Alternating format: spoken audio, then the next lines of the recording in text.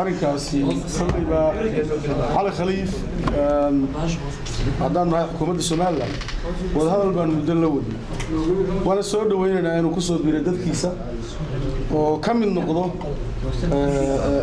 dadkiisa in uu waa nin odaya wanaag iyo horumarka dalka ka qayb qaato aad baan u soo dhaweynaynaa anigu xukuumadda madaxweynaha jamhuuriyadda somalilan mudane axmed maxamed maxamed silaanyan ka mid ah. Waxbaan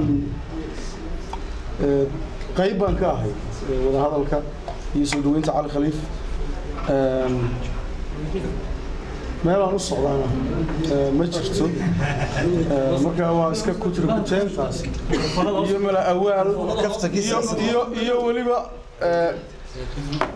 iyo weliba propaganda beena oo siyaasadeed wasiir dad baa aaminsan s s c deegaanada dadka dega dadka somalilan siyaasadooda u matala inay iyagu yihiin caqabada ah in ay dadkaasi fogaadaan marba marka dambeyso oo raalli aanay ka hayn somalilan iyo dadkaas inay si wacan wada dadka macnaha xaggee jooga? Waa siyaasiyiinta dadka siyaasiyiinta. Marka ma jirtaa in idinku aad raalli ka tihiin somalilan iyo khaatumo inay midoobaan nabadgelyo naga shaqeeyo somalilan si midaysan wada shaqeyso. Annagu waad ogtay dadaalkaan wadno inaanu raalli ka nahay in shacabkaasi ka mid noqdo somalilan waxay ila tahay dee waad ka wada dhegsantii dadaalkaan ku jirno waana ka shaqaynaynaa haddii alla ka dhigo. Waad ogeedeen diiwaangelinta hadda ka dhacday dalka.